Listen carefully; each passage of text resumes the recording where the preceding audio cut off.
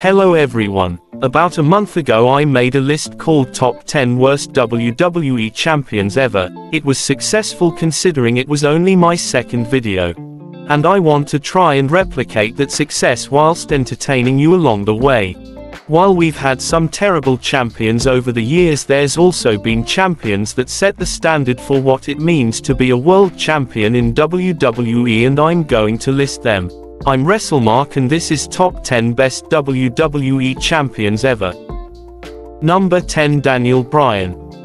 Daniel Bryan was the definition of underdog in 2013. WWE tried their hardest to bury him which only gained more fan support.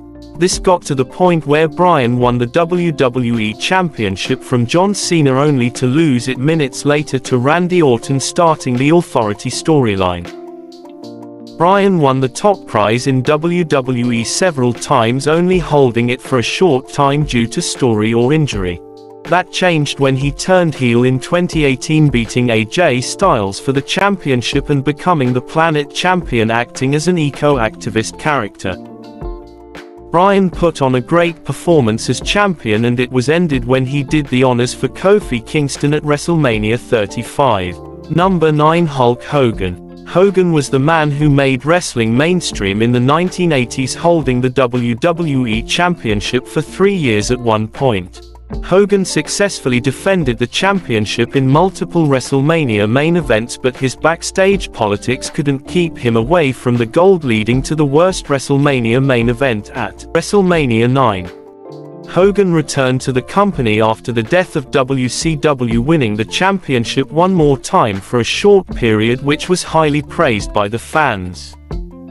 Number 8 Bruno Sammartino Bruno holds the record for longest WWE Championship reign ever holding it for an astounding 2,803 days, yes this man held onto the gold for 7 years and 3 months. The reason he is so low on this list however is because back then it was rarely defended as to what we're used to today. Number 7 Edge Edge is a popular figure in WWE cementing history becoming the first ever Money in the Bank winner. Edge won the gold from John Cena and they had a legendary rivalry which will be told throughout generations. Edge didn't hold the championship for long over his multiple reigns however since this was the time Super Cena was being pushed. Edge was eventually moved to SmackDown winning the World Heavyweight Championship and having fantastic matches with The Undertaker, Jeff Hardy and many more. Again those reigns were short and only really acted as a transitional champion which is unfortunate. Number 6 Brock Lesnar. Whether he's the next big thing, the beast incarnate or just a happy farmer, Brock Lesnar has won multiple world championships in all of his runs since 2002 sometimes without breaking a sweat. Lesnar's most memorable run with the gold was when he won the Universal Championship in 2017 holding it for a whole 503 days. During that time he helped build up and coming talents like Samoa Joe and Braun Strowman but towards the end fans were bored of him never defending the belt and Monday Night Raw suffered because of it. Number 5 The Rock Dwayne The Rock Johnson has had his fair share in World Championship runs, whether he was the wise-cracking babyface or a corporate shill heel. The Rock always made the then WWF Championship must-see TV when it was over his shoulder. Number 4 CM Punk. Colossal Mouth Punk is one of the first people that comes to mind when you think of the WWE Championship. Punk's reigns with the World Heavyweight Championship had promise but never made him main event due to higher powers in the company not liking him. In 2011 however CM Punk won the WWE Championship from John Cena walking out of the company and returning not long after with new music and merch.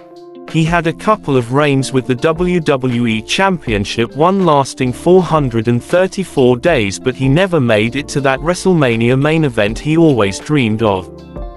Number 3 John Cena. John Cena is a 16-time world champion in WWE last holding the gold in 2017 for only a few weeks.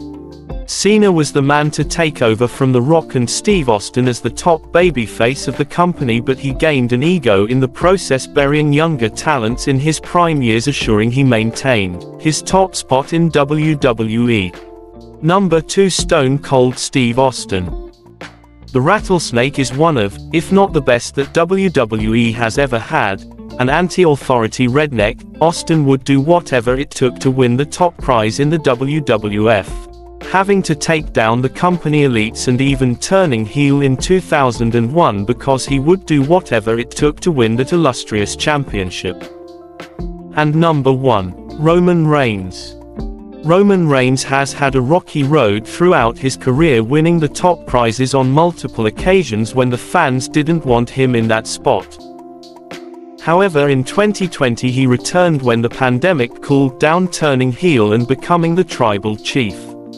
He won the Universal Championship at that year's Payback Premium Live event which he still holds to this day amounting to a staggering 916 days and acquiring the WWE Championship to his collection at WrestleMania 38 holding that for 335 days at the time of recording.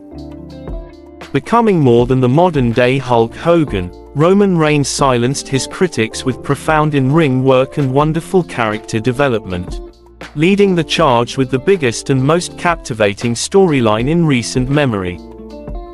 And that was my top 10 best WWE champions list. If you enjoyed this video make sure to like and subscribe. If you agree or disagree with anything in this list then let me know in the comments. Thanks for watching and I'll see you next time, WrestleMark out.